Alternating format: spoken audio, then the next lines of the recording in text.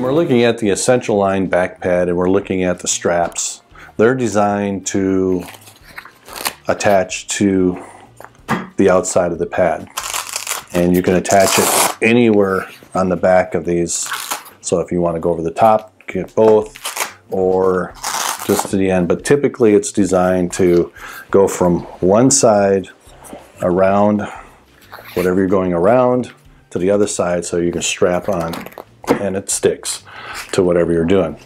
You get a two foot strap and you get a four foot strap. We do that so you have adjustments for smaller areas to larger areas and when you need to put um, straps on a horse, you need to put two of these together. And the way I do that is I just attach right over top of one to the other and now I've got a six foot strap that is used to strap around. They're also somewhat flexible.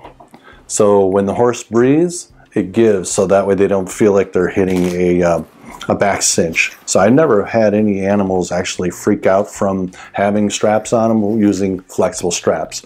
So, and I've strapped thousands of animals.